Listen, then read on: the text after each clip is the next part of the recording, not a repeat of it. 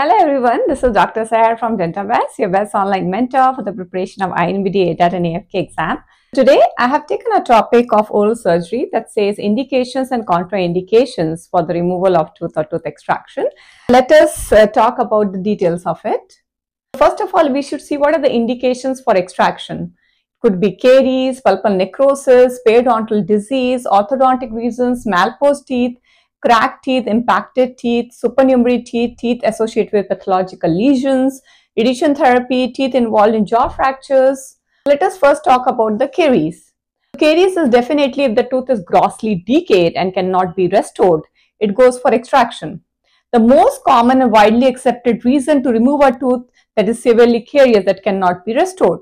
Pulpal necrosis. Pulpal necrosis, if the tooth is dead and the patient does not want to go for RCT or endo treatment, root canal that is tortuous, calcified and untreatable by standard endodontic techniques or endodontic treatment has been done but has failed to relieve pain or provide drainage and the patient does not desire the treatment. In case of necrosed tooth, for example, here you can see this is a tooth with internal resorption. It should go for RCT, but the patient says no, don't want RCT. I don't want to conserve, preserve the teeth. That's okay. We have to go for extraction then. Then the periodontal disease. If you have a severe adult periodontitis, where the tooth become mobile with excessive bone loss and irreversible tooth mobility is seen, then you may have to go for the extraction and replace the tooth with an implant or a bridge. For the orthodontic reason, patient undergoing orthodontic correction like for treatment of class 2, class 3 cases, we do the camouflaging by doing the extractions to create the space for the teeth to move.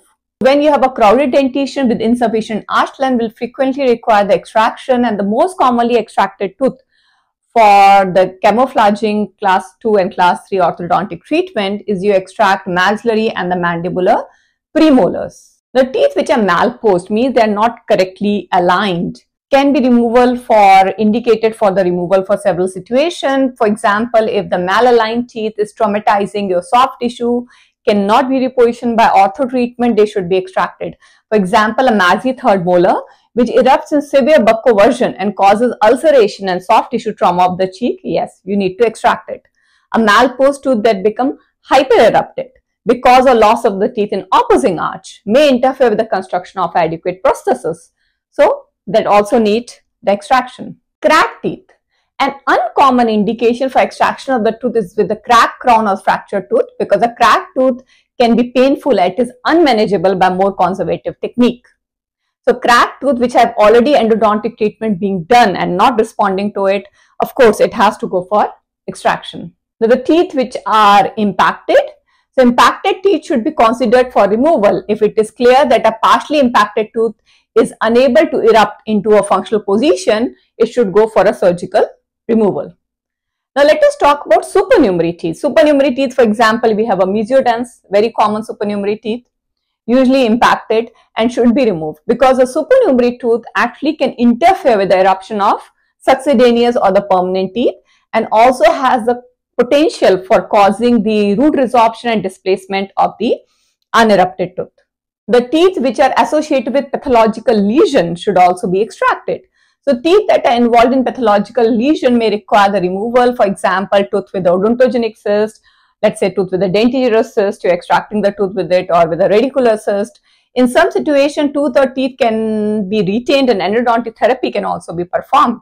However, if maintaining the tooth compromises the complete surgical removal of the pathological lesion with which it is associated, then you may have to remove the tooth completely.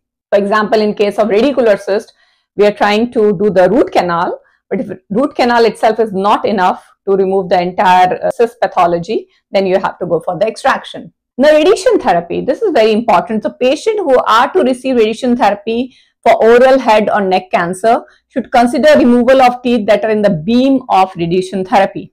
However, many of these teeth can still be retained with the proper care. The teeth which are involved in jaw fractures. So patient who sustain fracture of the mandible or the alveolar process sometimes must have been removed. So tooth involved in the line of fracture can be maintained but if the tooth is already injured, infected or severely luxated from the surrounding bony tissue or interfere with the proper reduction and fixation of your fracture, then you may have to remove that tooth. Some of the financial issues, of course, if the patient is not able to pay for the treatment procedure, then tooth may be removed. For example, patient is finding it difficult for the payment of the condition, cannot go for implants or bridges. Yes, then you can just go for extraction. Now the contraindication for removal of tooth or extractions. What are the contraindication for removal? In which cases you cannot extract the tooth. It is divided into two types, the systemic contraindication and the local. Systemic contraindication for removal of tooth is if the patient health is compromised that does not allow you to extract the tooth. For example, if the patient has uncontrolled diabetes or end-stage renal conditions, uncontrolled hypertension, then yes, if he has a recent history of heart attack or stroke, shouldn't go for extraction. Now, uncontrolled leukemia and lymphoma can create potential complication because we know that patients with leukemia, they are immunocompromised, their WBCs are not functioning normally, so chance of infection would be higher in them. Also, while you do the extraction, excessive bleeding can happen because of less platelets. Severe uncontrolled cardiac disease patients with severe heart attacks such as unstable angina pectoris or who have a recent history of a heart attack or myocardial infarction should not have a tooth extraction except if it's an emergency situation because in these patients uh, extractions can be stressful and trigger another attack in them. Systemic contraindication for removal of teeth again if a patient has malignant hypertension he has more chances of developing myocardial insufficiency or a stroke condition due to stress arising from the extraction. So these patients should not go for extraction until it's an emergency situation. Also, patients who are having heart condition like infarction, they're also on blood thinners, anticoagulant that can further increase the chances of bleeding while extraction. Pregnancy is not an absolute, but it's a relative contraindication to extraction, especially the patients who are in first or third trimester it is better to defer the extraction. First trimester, you you can wait for the lady to come in second trimester, which is considered to be the safest. If she is already in a third trimester, you can wait until the delivery of the child. Why? Because the chances of extraction in the first trimester, especially stressful, can lead to spontaneous abortion. And the third extraction stress can lead to premature delivery of the baby. But middle trimester is considered to be the safest for the extraction unless it is an emergency First trimester and third trimester should be avoided for any extraction. Patient who have history of severe bleeding such as hemophilia patient, platelet disorder like thrombocytopenia patient should not have the teeth extracted until their coagulation or bleeding disorder has been corrected. So at always, at every step, you have to take a physician consult. Only if the physician give you a green signal, then only you go and manage these patient. Physician reference is very, very important, a close coordination with the patient the patient also who on aspirin therapy or anticoagulant therapy, it is important for you to take the physician consult before doing any calibrations or changes in their medications. Now patients who are on steroids because they are immunosuppressed, already on immunosuppressive therapies, uh, bisphosphonates for treatment of their osteoporosis or Paget's disease or patient on the chemo agents.